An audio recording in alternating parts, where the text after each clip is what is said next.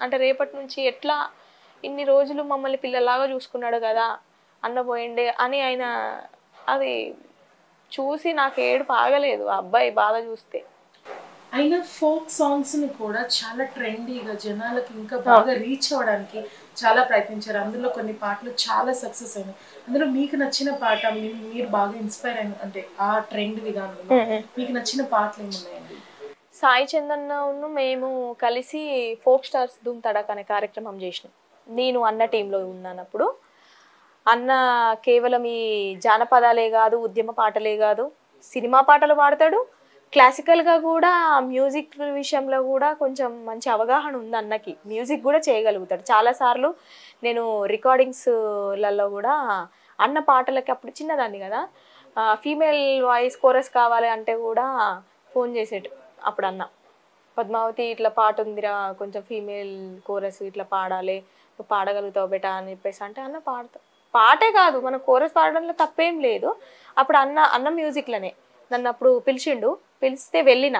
వెళ్ళి అప్పుడు అన్ననే దగ్గర ఉండి రికార్డింగ్లో పాడించడము చెప్పడము అట్లా చేసిండు. కానీ మేము ఫోక్ స్టార్స్లో ఉన్నప్పుడు ఒక పాట పాడిండు అన్న ఫోక్ సాంగ్ని సినిమా వర్షన్లో పాడిండు అన్నట్టు అప్పటికప్పుడే జస్ట్ ఐదే నిమిషాలల్లో అనుకున్నాడు.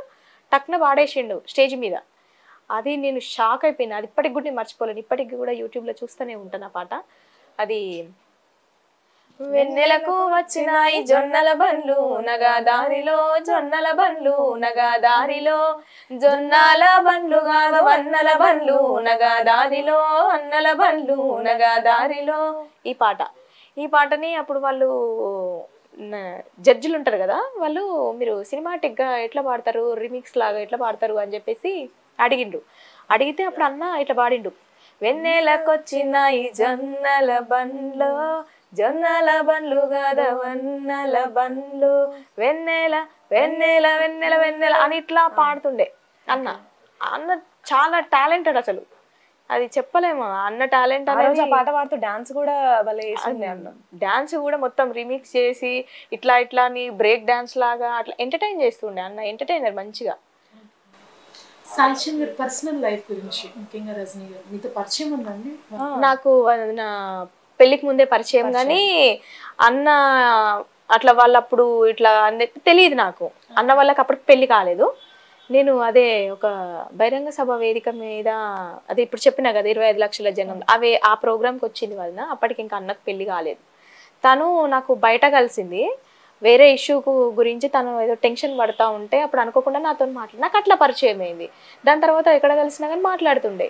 ఆ తర్వాత వన్ టూ ఇయర్స్కి ఏమో అన్నకు పెళ్ళి అయిన తర్వాత అప్పుడు తెలిసింది ఓహో ఓకే వదిన సాయి చందన్న ఇట్లా లవ్ మ్యారేజ్ చేసుకున్నారు?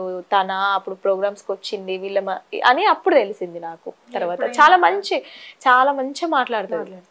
Two three times? Love story ఏం పంచుకోలేదు కానీ చెప్ ప్రేమ మాత్రం బాగుంటది. పిల్లల మీద కానీ వదిన మీద కానీ చాలా బాగా ప్రేమ ఉంటుంది అన్నకి.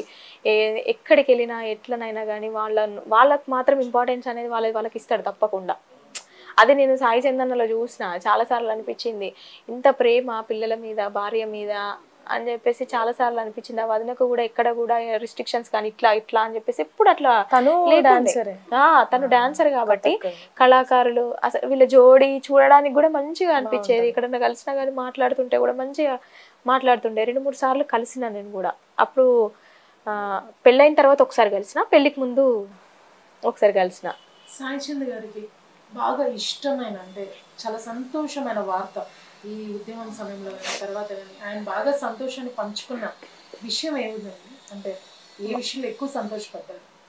మాకైతే నాకు తెలిసినంత వరకు అయితే ఒకసారి నాతో మాట్లాడినప్పుడు అందరికీ కళాకారులు ఉద్యమంలో పనిచేసినటువంటి కళాకారులు అందరికీ ఉద్యోగాలు రావడము ముఖ్యమంత్రి మనందరినీ గుర్తుపెట్టుకొని మనకు ఉద్యోగాలు ఇచ్చిండ్రు ఇలా కళాకారుల లైఫ్ ఎటుపోతుందో అని ఇది మాట్లాడిండ్రు నాతోటి అన్న.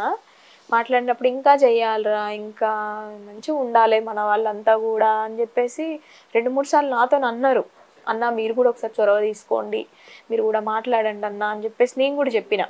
ఎందుకంటే పాటని నమ్ముకొని ఎంతోమంది కళాకారులు చదువులు బంద్ చేసుకొని ఉన్నారు కాబట్టి మీరు కూడా కొంచెం అన్న ఎక్కువ దగ్గర ఉంటుండే అన్నట్టు కేసీఆర్ గారికి కానీ కేటీఆర్ గారికి కానీ హరీష్ అన్నకి బాగా దగ్గర ఉంటుండే కాబట్టి కొన్ని సమస్యలు మాట్లాడండి అన్న మీరు కూడా చొరవ తీసుకోండి అంటే తప్పకుండా రా అని చెప్పేసి మంచిగా రెస్పాండ్ అవుతుండే ఆయనకి బాగా ఇష్టమైన కోరిక జీవితంలో ఇది సాధించాలి అని అనుకున్నది మీకు ఎప్పుడైనా పంచుకున్నదా అలాంటి విషయం ఏదైనా?